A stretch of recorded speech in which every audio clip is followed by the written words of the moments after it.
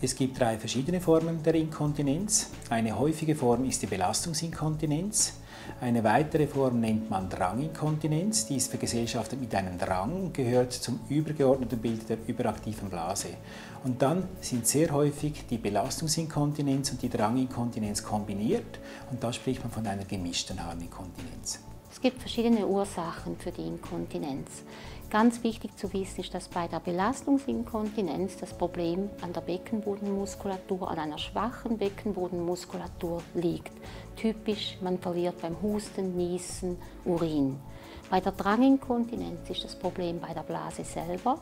Die Patientin hat einen intakten Beckenboden, aber die Blase selber ist zum Beispiel chronisch entzündet und es kommt auf irgendeinen Impuls, wenn Wasser läuft, bei Kälte kommt es zum Zusammenziehen der Blase und die Patientin verliert Urin. Das ist die Dranginkontinenz. Die Überlaufinkontinenz ist, wenn der Verschluss zu stark ist, die Blase sich ständig überfüllt und dann nach dem Motto, wenn das Fass voll ist, überläuft es. Typisch beim Mann, bei der vergrößerten Prostata oder bei der Frau, wenn sie eine Senkung hat der Blase, der Gebärmutter oder des Darmes, klemmt es eben die Harnröhre auch ab und kann es zur Überlaufinkontinenz kommen.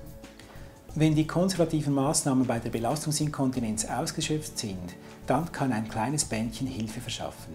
Dieses Verfahren nennt man TVT-Operation. Was macht man dabei? Ein kleines Bändchen kommt unter die Harnröhre. Hier sehen Sie die Blase mit der Harnröhre und dies ist dieses hilfreiche Bändchen. Das Bändchen wird so unter die Harnröhre gelegt, wie ich es hier zeige, und es stützt die Harnröhre. Beim Husten gibt dieses Bändchen der Harnröhre Halt es kommt zu einer Knickung der Harnröhre in diesem Bereich, wo ich den Daumen habe und damit kommt es nicht zu Urinabgang. Dieser Eingriff kann in Lokalanästhesie durchgeführt werden.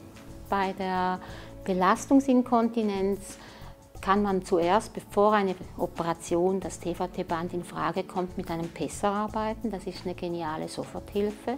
Das Vaginaltampon funktioniert wie folgt. Sie sehen, das ist hart, das wird weich gemacht mit warmem Wasser, ausgepresst, dass es nicht mehr flutscht so und dann mit einer Vaginalcreme, am besten beim Hormonmangel mit einer Hormoncreme, in die Scheide eingeführt, eigentlich wie der Blutungstampon. Bei der Dranginkontinenz, auch wenn das schwierig ist, steht an erster Stelle das Trinken. Man muss mehr trinken, mehr Wasser trinken, die Blase wieder versuchen zu trainieren, dann unterstützend mit Medikamenten, die die Blase beruhigen. Und bei der Überlaufinkontinenz muss das Hindernis beseitigt werden. Da ist natürlich bei der Frau zum Beispiel bei einer Senkung sehr optimal auch ein Pesser anzuwenden, dass den Senkungszustand wieder in den ursprünglichen äh, Standort zurückführt und dadurch die Blase wieder gut entleert werden kann. Es gibt noch andere Möglichkeiten, um die Lebensqualität der Patientinnen und Patienten zu verbessern.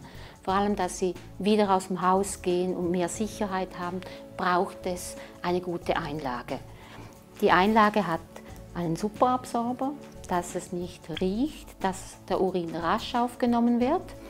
Und auf der Seite Auslaufsperren, damit der Urin seitlich nicht entweicht.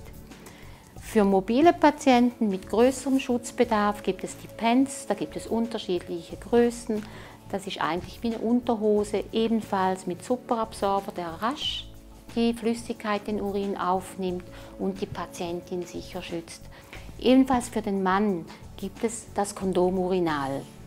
Das gibt es in verschiedenen Größen. Der Penis muss gemessen werden und dann je nach Größe wird das Kondomurinal über den Penis gestülpt und an einer Ableitung an einem Urinsack angeschlossen und am Bein getragen. So kann er sich in der Öffentlichkeit frei bewegen.